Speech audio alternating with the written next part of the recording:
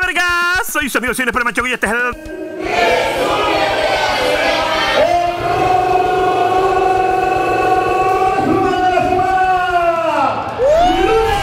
con el banderazo de salida para que inicien los Juegos de la Hambrísima, también llamados campañas políticas. Reaparece Marista Hernández Cruz, quien viera amenazado con dejar Morena, demandarlos o por lo menos hacerle un panchísimo, anunciando que siempre no, que se une a la campaña de Javier May, pero que está mero enojado y no se lo vuelvan a hacer, ¿eh? Y por supuesto, nos vemos la próxima elección. Una batalla épica. Un partido que se luchó en cada centímetro de la cancha, cada balón, cada despeje contra los mejores hombres de Honduras y Huelañonga. México logra un empate agónico y el triunfo en los penales para pasar a la Copa América, a la semifinal de la Nation League y al Mundial.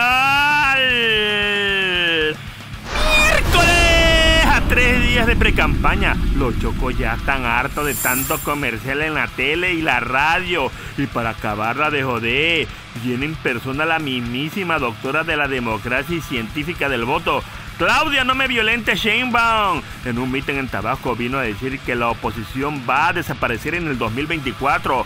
Partidos de oposición se rieron y burlaron de dicho anuncio. Al rato van a decir que el agua moja. ¡Shit!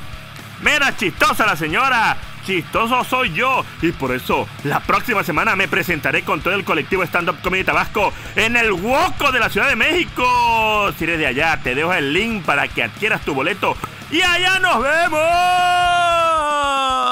¡Jueves!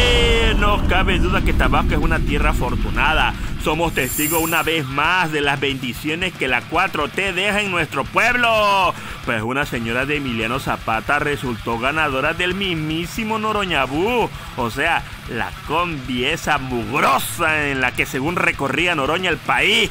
Esa onda no se movió ni una cuadra. La señora anunció que después de desinfectarla con chingo de cloro y ensalmarla, ¿verdad? La pondrá a funcionar ya sea vendiendo pan o en la ruta suburbana. ¡Viernes! Parque Centenario 27 de febrero se puso de mucho ambiente. Y eso que no hubo juego, ¿eh? Es que se abarrotó como si fuera la final de la Conca Champions del béisbol y fueran ganando los Olmeca. Pero todo fue para presenciar el concierto del ídolo de México, el rey de la canción, el artista del momento, Alfredo Oliva.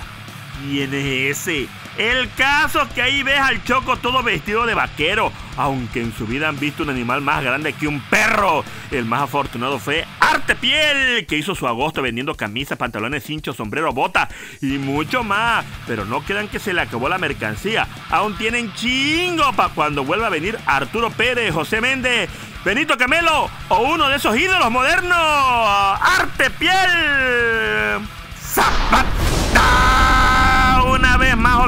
Sus medicamentos al abuelito Vicente Fox, por lo que supuso buena idea atacar a Samuel García insultando a su esposa Mariana Fosfo Fosfo, llamándola prosti, como lo ven ustedes. La chamaca le respondió, a luego se sumó Xochitl y hasta una dama de compañía de la vida real entró al debate. ¡Diablo! ¡Ya metan a tu tío! ¡Y quiten el celular! ¡Y Tomito! Se acaba la Fórmula 1 y Checo Pérez queda en segundo lugar.